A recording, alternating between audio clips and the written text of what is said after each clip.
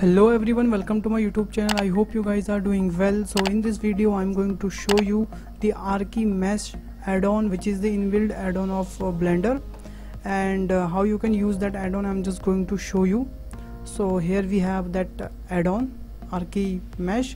You can find from the uh, here also. And if you will click the shift a so you will find from here also Archimesh. And uh, if you want to install that so, so you have to go to the edit preference. You have to just search the archi mesh. You will find that here. And you just click it and don't forget to save preference. Okay guys. Then after that i'm just going to show you how you can use that tool. So i'm just going to delete that default cube. And i'm enable my shortcut vr so here i am in the create option. Here you will find that Archimesh. So so here is the two section first is the Archimesh and second is the props. So first i'm just talking about that uh, uh, elements. So what is does exactly. So first i will click on the room. So when i click on the room so we have a one wall here. Here you can see. And uh, that is a baseboard also. So we can increase the baseboard size from the here. Okay guys. So for example that is the good size right now and you can increase the length of that wall also like that. So I'm going to set 3 right now like that. We can take 4 also. I think 3 is yeah 4 is fine. Okay guys. And I'm just going to add one more wall like that. And I will put the same value 4 and I will add one more wall. So right now if I will put the same value 4 so it will goes negative okay? So if we want to uh, set the same side so we have to uh, set the value on minus. So we have a 3 wall here. So now I will uh, increase the little bit that baseboard size also.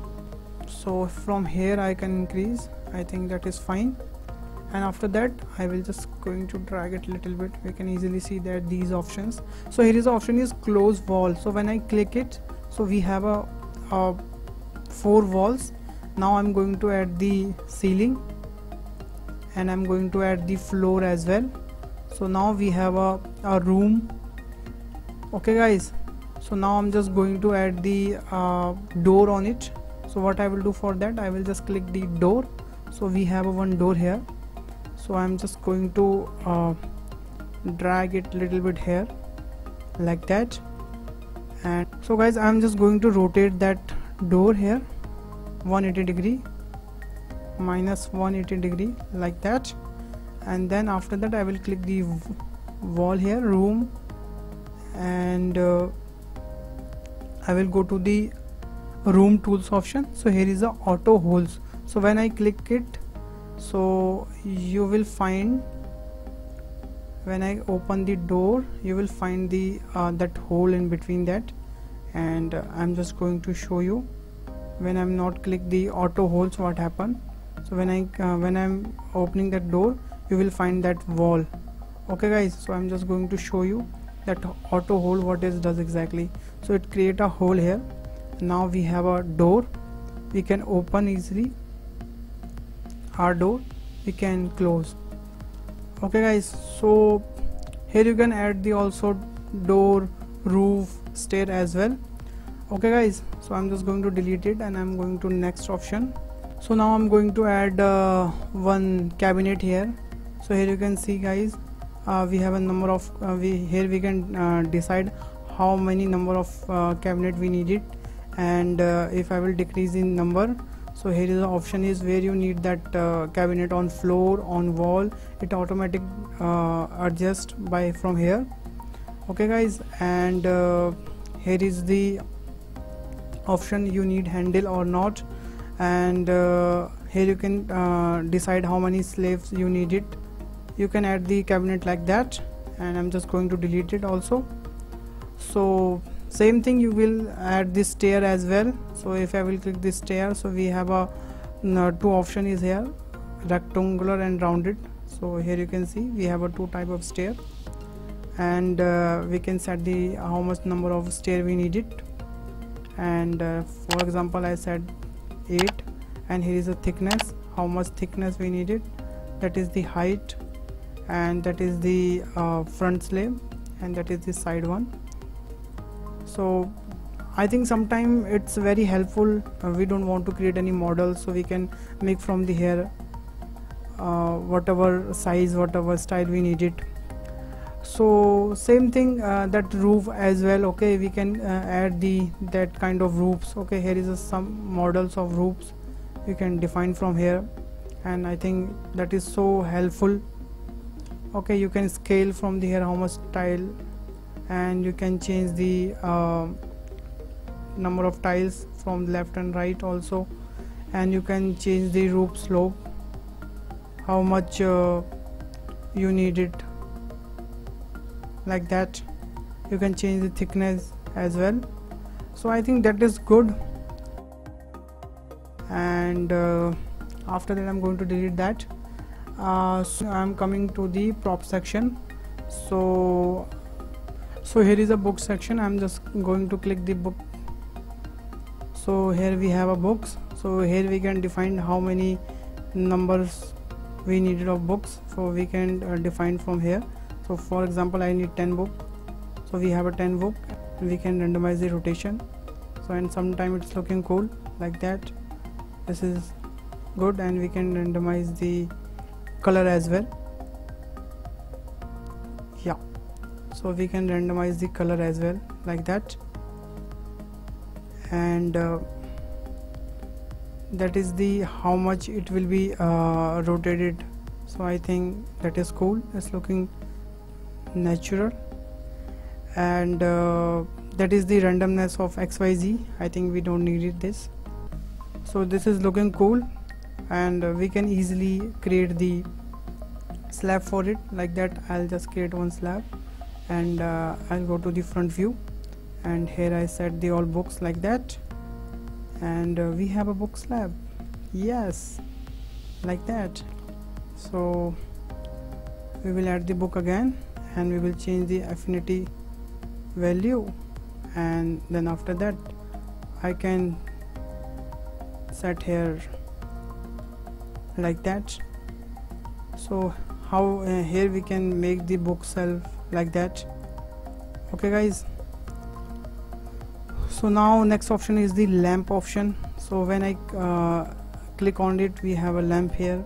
So we have a some uh, kind of lamps. So here is a spherical ring piers and vase vase and rectangular. So I like that vase. It's looking cool and uh, here is uh, some options. How much uh, long that lamp holder we need it so that is the roundness of that part as well. So we can change as well like that. And we can make them our own design. Yeah it's looking cool. And that is the height of that top one. That is the uh, radius. And that is the inside one. And here is also transparency of that uh, light. And here we can change the color any color like that. Okay guys. So I think that is cool also. I'm going to delete that. So now we have a ventilation blind. Here you can see and uh, we have a setting also here. So we can change the angle from here. Here you can see. Here we can change the angle. And here we can animate as well. So if you want to animate that so you can uh, enable the key and just uh, set the key 0 to 100 in between you will get the animation to open and close. And that is good and you can change the width height and the gap between of these.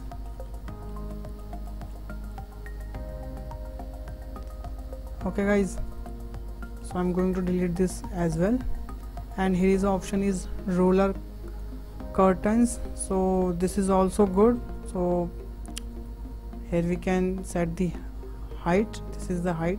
And we can animate as well and this is the width. And uh, last thing is that we have a Japanese curtains and this is good sometime. So here you can see we can define two panel and uh, two rails. And this is the position. This is position 2 so we can animate uh, very easily from here. And this is good. And so for example uh, I create one uh, door here. So here you can see. So when I show it here you can see it's showing the width height or length as well. So we can change the color from here. Whatever color we can see very easily we can set from here. And that is the text size. We can increase and decrease like that okay guys and we can uh, separate the, these things from the R object as well. So that's it for this uh, tutorial guys. I hope you learned something in this video. So thanks for watching this video guys. If you learned something in this video please hit the like button hit the share button and subscribe my channel. Also and if you have any queries if you have any suggestion please let me know in the comment box. I will definitely reply your comment. Bye bye take care. Stay home